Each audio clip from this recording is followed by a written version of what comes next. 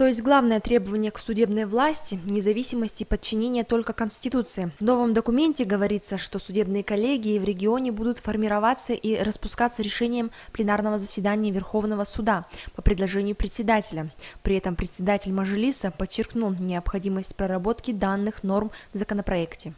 Кроме того, рассмотрен ряд законопроектов по модернизации судебной системы, в частности, специализированный административный суд, который начнет работу 1 июля. Данный орган рассматривает публично-правовые споры, основанные на презумпции виновности, то есть борьба граждан, бизнеса и инвесторов между госорганами. В настоящее время 179 судей по этим делам прошли специальную подготовку. Однако очевидно, что реализация принципа административной юстиции значительно увеличит количество претендентов – Поэтому депутаты подчеркнули необходимость уделить особое внимание кадровым вопросам.